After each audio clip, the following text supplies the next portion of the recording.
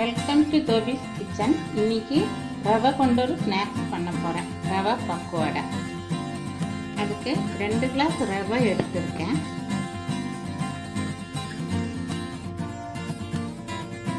தேவையான சால்ட்டு கூடவே நம்ம தயிர் ஊற்றி நல்லா கொஞ்சம் பிசைஞ்சு வைப்போம்.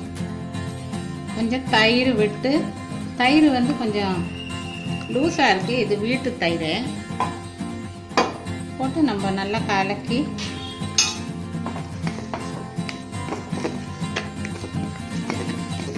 உப்பு தயிர் மட்டும்தான் இப்போ போட்டிருக்கோம். இப்போ ரவை வந்து நல்லா ஊறணும் கொஞ்சம். ஒரு பதினஞ்சு நிமிஷம் நம்ம அப்படியே மூடி வைக்கலாம்.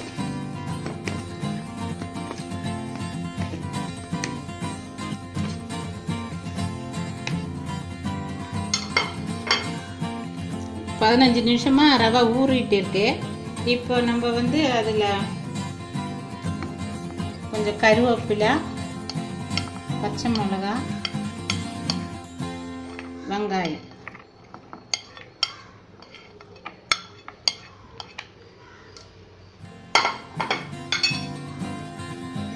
கொஞ்சம் நெய்.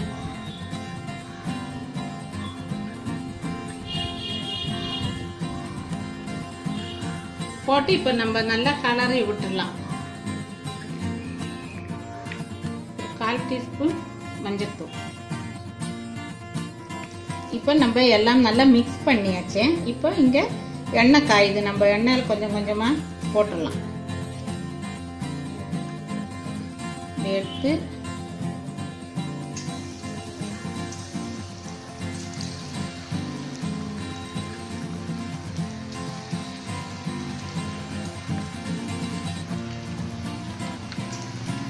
இது வந்து ஈவினிங் குழந்தைங்களுக்கு கொடுக்கறதுக்கு ரொம்ப நல்லா இருக்கும்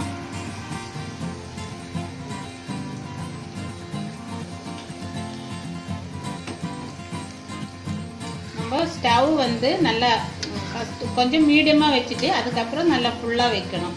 ஃபுல்லாக வச்சு எடுத்தால் தான் நல்லா கிறிஸ்பியாக நல்லா இருக்கும் நல்லா முறு முறுன்னு இருக்கும். இந்த பாரு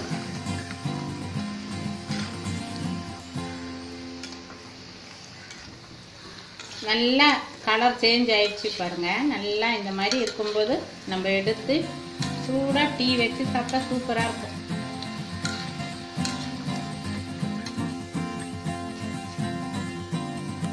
இதே மாதிரி எல்லாத்தையும் நம்ம சுட்டு எடுக்கலாம்.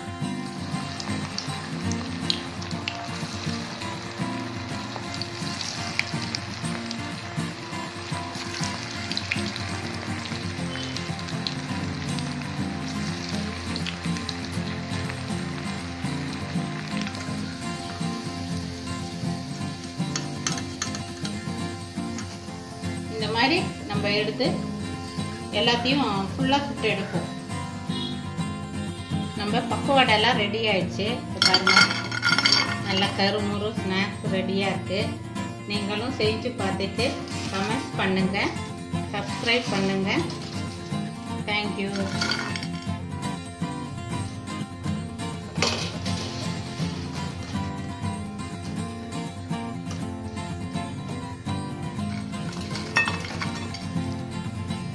செஞ்சு பார்த்துட்டு சப்ஸ்கிரைப் பண்ணுங்க.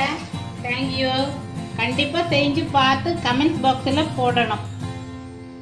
ஹாய் ஃப்ரெண்ட்ஸ் இன்னைக்கு ஸ்பெஷல் ரவா பக்குவடா ரொம்ப டேஸ்ட்டாக இருக்குது ரொம்ப நல்லா இருக்கு. குழந்தைங்க ரொம்ப விரும்பி சாப்பிடுவாங்க.